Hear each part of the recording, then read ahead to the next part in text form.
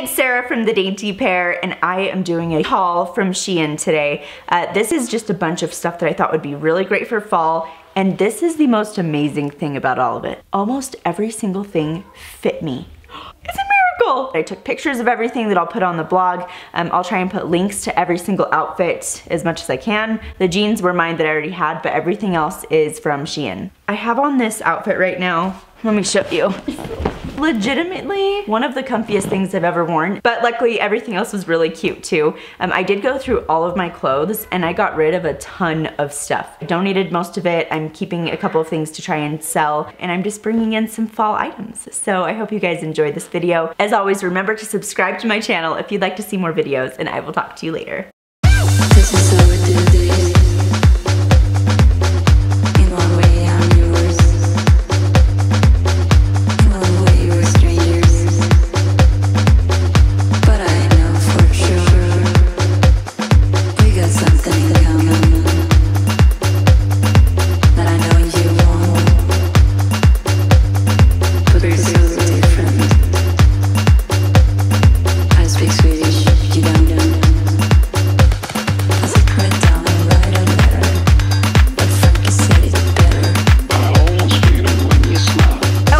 Again. Okay, so I just realized that I should probably go over a few of my favorite tips or things like that about Shein. So um, number one, usually there's a sale going on. If there's not a sale, Google a coupon. I will see if I can get one for you guys.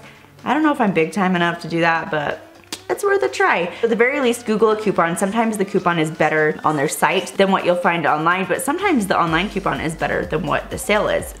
You used to get free like express shipping over a certain amount and I think they took that away because I paid way more for shipping than I usually do, but I don't think it was more than like $15. But it was more expensive than free. So they do have an app in the App Store something super, super important. And I think this is one of the reasons most of the things actually fit. Once you are on their website or you're on your app, click on the size and right underneath the sizes, so extra small, two, four, six, eight, click on the size box and underneath it tells you bust on this extra small is 38.8 inches.